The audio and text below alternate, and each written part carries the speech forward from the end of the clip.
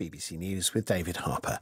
More than 100,000 Israelis have been holding protests against judicial reforms for the 13th consecutive week.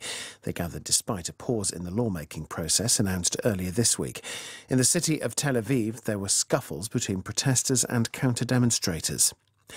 The authorities in several US states have been assessing the damage caused by severe storms and tornadoes across the South and the Midwest.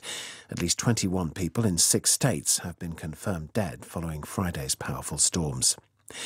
President Zelensky has described as absurd Russia's assumption of the rotating presidency of the United Nations Security Council. He said the appointment showed the institution was bankrupt. The abbot of Ukraine's most important monastery, the Kiev Pechersk Lavra, has been placed under house arrest for two months on suspicion of backing Russia's invasion of Ukraine.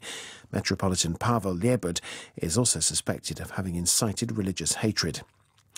A delegation from South Africa's governing ANC is in Moscow for talks with representatives of Russia's largest political party, United Russia. The ANC said the talks would consider what it called the recalibration of the global order.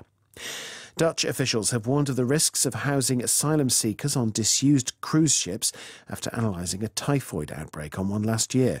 They traced the outbreak to contaminated drinking water. The Foreign Office in London says it is trying to find out what has happened to three British men who have been detained by the Taliban secret police in Afghanistan.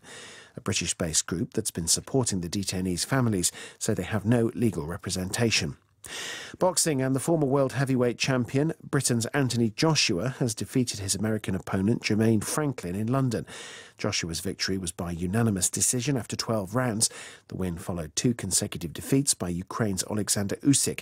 It was Joshua's first non world title fight since 2015. BBC News.